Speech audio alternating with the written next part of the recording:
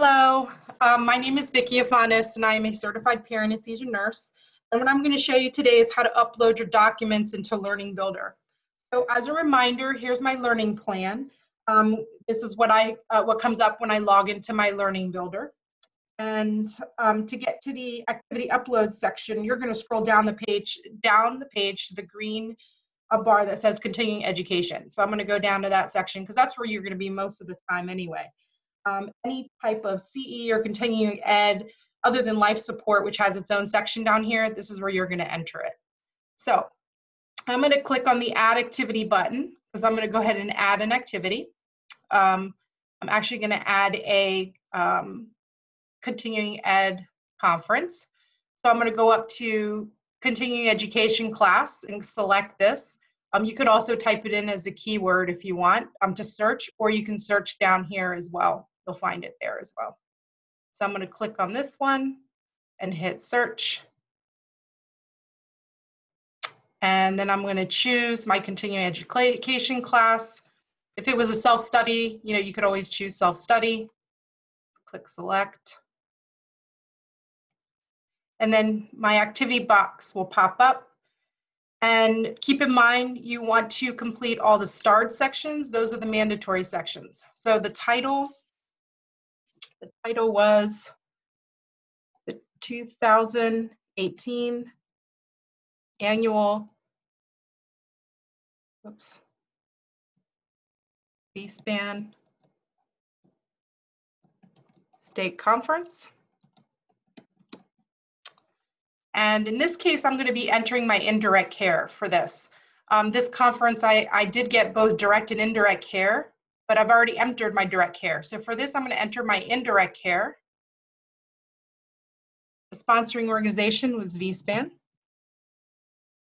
Now keep in mind, I should go back and say, um, when you are deciding whether it's direct or indirect care, and if it's not as obvious, like with a conference where they separate it out for you, um, direct care has to do with um, learning activities that have to do with patient needs versus indirect care, which has to do with uh, nurses' um, needs. So if you need more clarification, of course, take a look at our recertification handbook.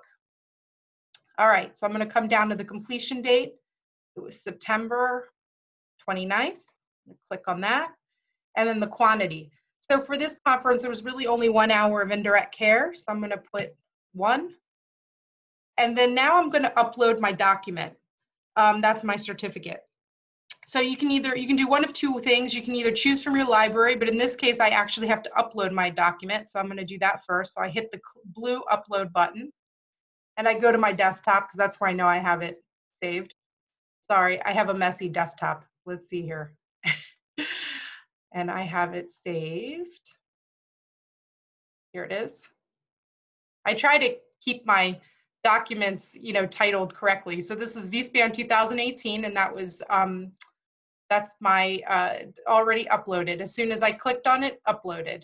So there it is. And now I want to submit. So I click the orange submit button. And there it is. So you see down here, it'll say um, my one contact hour for my VSPAN state conference submitted with my documents.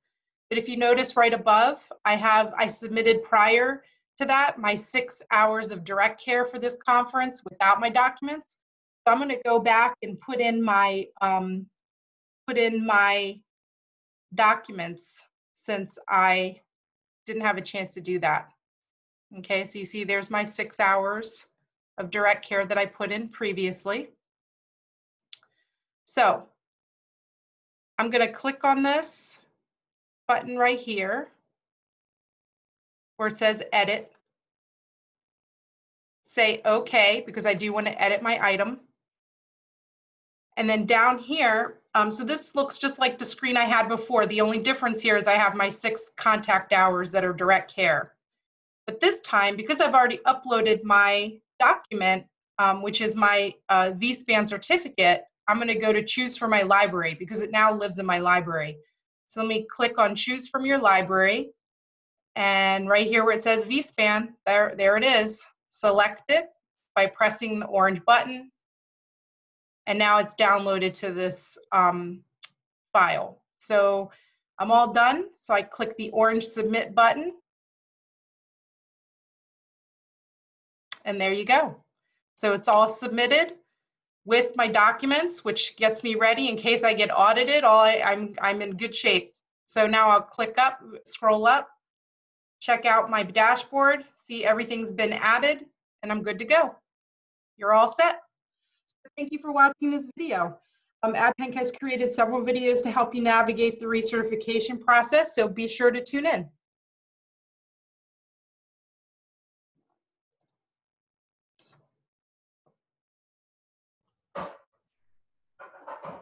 That was great.